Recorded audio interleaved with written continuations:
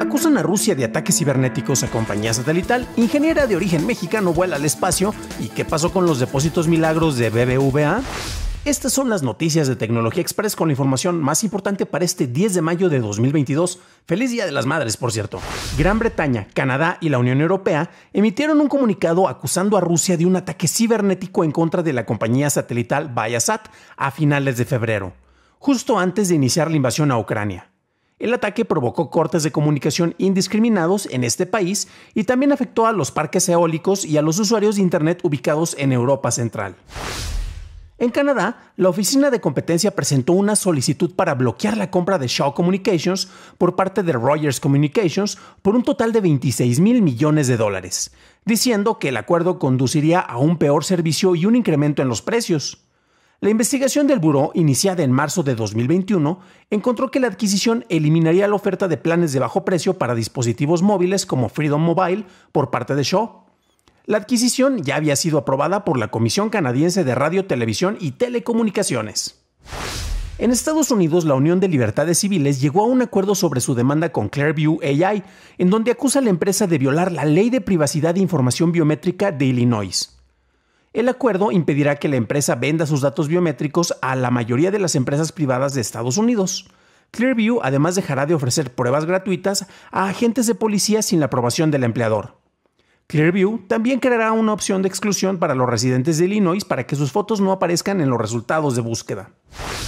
Este 9 de mayo muchos clientes de BBVA reportaron la aparición de depósitos no esperados en sus cuentas, pero tristemente no era una cooperación para que le compraran regalos este 10 de mayo a sus madrecitas. De acuerdo con el banco, fue un error humano en donde algunas operaciones de compra realizadas recientemente con tarjetas de débito no fueron cargadas a las cuentas, por lo que los cargos se reflejaban como saldos a favor. Si fuiste uno de los usuarios que fueron temporalmente beneficiados, recomiendo no gastes de más ya que este dinero te será retirado de tu cuenta. Blue Origin presentó a la tripulación de su próxima misión, la NS-21, el quinto vuelo del programa New Shepard y el 21 en la historia de la compañía. Y entre las seis personas que viajarán al espacio se encuentra Katia Echazarreta, originaria de Guadalajara, quien con sus 26 años se convierte en la mujer estadounidense más joven en volar al espacio. Katia es una ingeniera eléctrica e informática, así como divulgadora de ciencias con programas en línea y fue seleccionada entre más de 7.000 solicitantes de más de 100 países para volar en el New Shepard. Los otros miembros de la tripulación son Evan Dick, Hamish Harding, Víctor Correa España, Jason Robinson y Víctor Vescovo. Esas fueron las noticias y ahora pasemos a la discusión. Y la noticia que yo encuentro más positiva, y algunos dirán que de repente nos estamos trepando a caballo, a caballo ajeno, tiene que ver precisamente con el viaje al espacio, el NS-21 que se está anunciando, y con la presencia efectivamente de Katia, la cual es de origen eh, de ascendencia mexicana. Desde niña viajó a Estados Unidos. Eh, se menciona que creo que fue cuando ella tenía 7 años, o sea, hace 19 años, cuenta actualmente con 26. Ay, me salen todavía las, las matemáticas. Y precisamente ella menciona en esta entrevista, la liga ya saben que la encuentran en las notas del episodio, ya sea en audio o en video, y menciona pues parte de su trayectoria, ¿no? Ha estado trabajando, es una ingeniera muy, muy bien establecida, eh, ha hecho colaboración con distintas agencias, eh, hace programas de divulgación de ciencia en, plataformas. Estuve buscando algunos, pero no los encontré.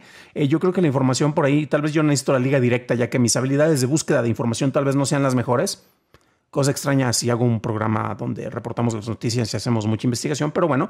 Y bueno, es una nota yo creo positiva porque también es algo un poco aspiracional. Podrá, probablemente hay algunas personas que digan que como no está saliendo de una misión al espacio por la NASA, los filtros han sido menores y ella forma parte de un programa que se hizo precisamente con una convocatoria y aquí se mencionaba que fue seleccionada entre 7.000 solicitantes de más de 100 países para volar en esta misión.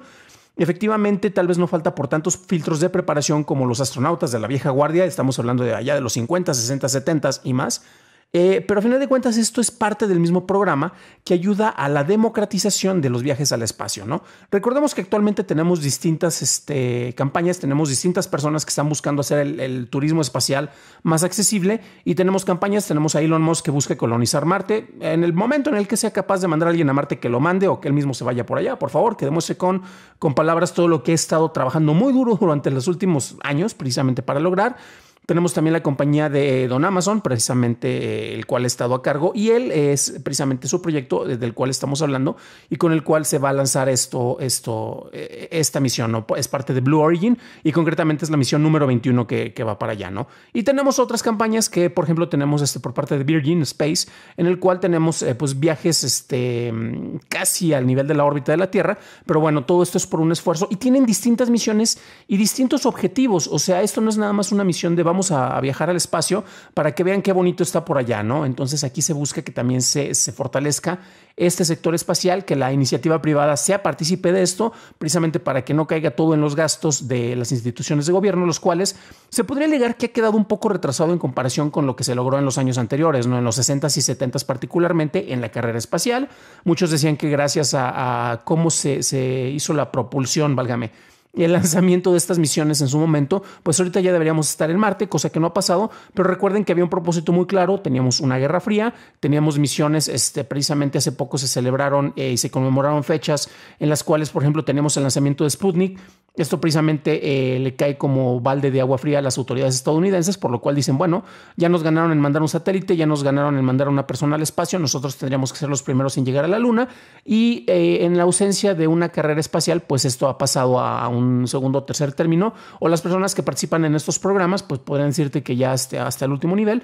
Por eso no es necesario que la iniciativa privada se encargue de esto, pero efectivamente si ellos buscan una manera en la cual puedan hacer exitoso y redituable el manejo de estos viajes, pues al final de cuentas puede ayudar también y colaborar con el desarrollo de otras misiones que se llevan a cabo eh, y que sean ya con fines más científicos, si queremos decirlo de alguna manera, y desde luego para el desarrollo de nuevas tecnologías para facilitar esto, como el uso de cohetes reciclables, ¿no? que también no es algo precisamente nuevo, no fue idea de Moss, pero eh, es algo que precisamente se ha impulsado más gracias a esta nueva carrera por la privatización del espacio. Pero bueno, ¿ustedes qué opinan de esto? También les emociona como a mí el hecho de que cada vez haya más personas y con más capacidad eh, las que están yendo al espacio, se está democratizando esto, o es nada más este peleas entre millonarios en el cual se avientan los billetes para ver quién planta su bandera en la siguiente, eh, el siguiente cuerpo espacial. Déjenme en los comentarios que me interesa saberlo.